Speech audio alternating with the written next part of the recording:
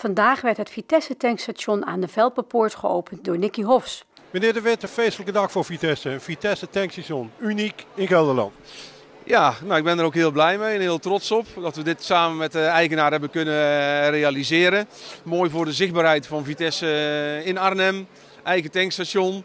En ik eh, ben er heel trots op, ja. Wat, wat verwacht u van dit tankstation voor Vitesse? Nou, ik verwacht ten eerste dat we, dat we onze naam natuurlijk in de stad weer uitdragen. Maar ik hoop dat veel supporters komen tanken.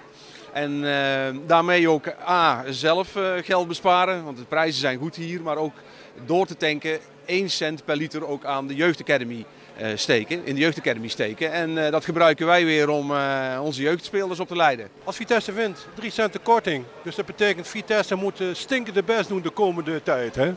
Nou, dat moeten ze sowieso. En uh, misschien alleen nog maar een extra motivatie. Nee, het is uh, natuurlijk, wij doen er alles aan om elke wedstrijd te winnen. En uh, mooi dat, dat nu een, een winst zelfs in, ja, in, in, een lager tankbedrag zal resulteren. Alleen nog, nog extra mooi voor de supporters. Vitesse tankstation, wat vind je ervan? Geweldig, ziet er mooi uit. Valt goed op.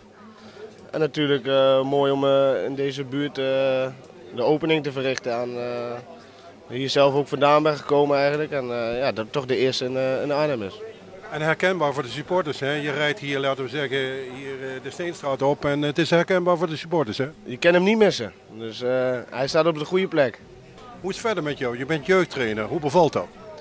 Ja, ik ben vorig jaar begonnen. En natuurlijk nadat ik gestopt was, gaat een heel nieuw leven voor je open. En vorig jaar was een kennismaking eigenlijk.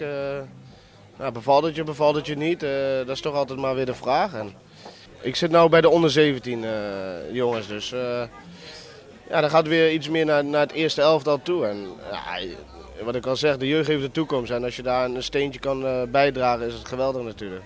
Je kunt je ervaringen overbrengen? Ja, dat klopt. In het begin was het nog best wel moeilijk, omdat je natuurlijk op een hoger niveau hebt, aan het denken bent. Maar ik moet zeggen, dat gaat steeds beter. En, ja, voor de jongens natuurlijk ook geweldig.